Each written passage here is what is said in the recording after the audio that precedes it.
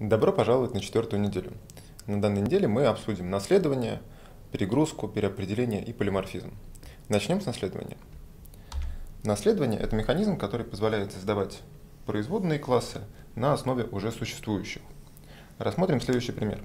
Пусть у нас есть класс, описывающий человека. В качестве описания человека мы выберем два поля. Это будет поле, содержащее имя человека, и поле, содержащее возраст человека. Оба поля будут приватными, и мы добавим геттеры для того, чтобы получать доступ к этим полям. На основе такого класса можно создать класс студента, который кроме имени и возраста будет также хранить название университета и давать доступ к этому названию.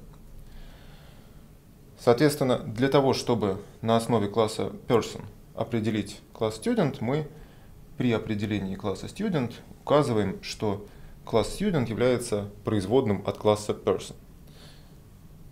У класса student будут все те же поля, которые есть у класса person, все те же методы, которые есть у класса person, а кроме этого там будут